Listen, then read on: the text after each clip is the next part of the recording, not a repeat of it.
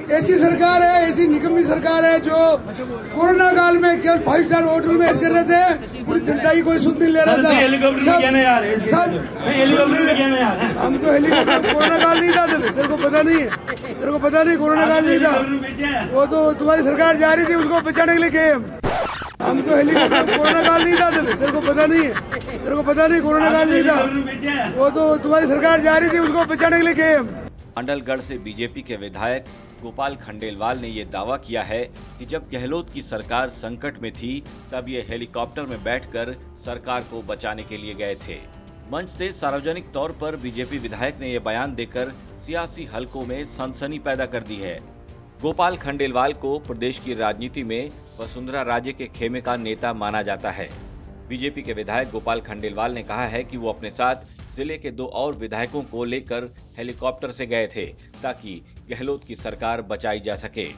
मंडलगढ़ से बीजेपी के विधायक गोपाल खंडेलवाल के इस बयान ने अब सबको हैरत में डाल दिया है। कानाफूसी तो इस बात को लेकर भी हो रही है कि कहीं अंदर खाने वसुंधरा और गहलोत की मिली भगत तो नहीं है। ऐसी सरकार है ऐसी निकम्मी सरकार है जो कोरोना काल में केवल फाइव स्टार होटल में कर रहे थे की कोई सुध नहीं ले रहा था। हम तो हेलीकॉप्टर कोरोना काल नहीं था तेरे को पता नहीं है। तेरे को पता नहीं कोरोना काल नहीं था। है? वो तो तुम्हारी सरकार जा रही थी उसको बचाने के लिए गए हम हम तो हेलीकॉप्टर कोरोना काल नहीं था तेरे को पता नहीं है।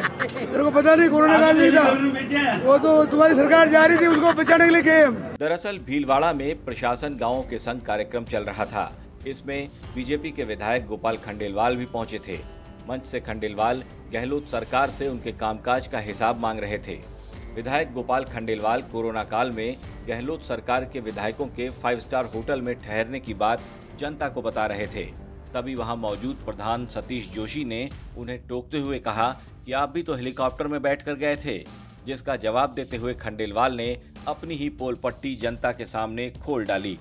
पहले भी खंडेलवाल समेत तीन विधायकों के जयपुर से हेलीकॉप्टर से जाने की बात सामने आई थी। तब इस मामले को बीजेपी नेताओं ने अपनी बयानबाजियों से दबा दिया था। लेकिन अब जब खुद बीजेपी के विधायक गोपाल खंडेलवाल इस बात की पुष्टि कर रहे हैं कि उन्होंने गहलोत सरकार को बचाने में मदद की थी तो अब ये बात सबको पता चल चुकी है। काफ़ी वक्त से आरएलपी चीफ हनुमान बेनीवाल ये बात खुलेआम कहते आ रहे हैं कि राजस्थान में गहलोत और वसुंधरा में मिली भगत है, लेकिन इस बात का प्रमाण सामने नहीं आ पा रहा था। लेकिन अब, जब राज्य के खेमे के विधायक ने ही गहलोत सरकार बचाने की बात कह दी है तो अब आरएलपी को एक नया मुद्दा मिल गया है, जिसे दो सीटों पर हो रहे विधानसभा के उपचुनाव में बेनीवाल ज़रूर उठाएँगे।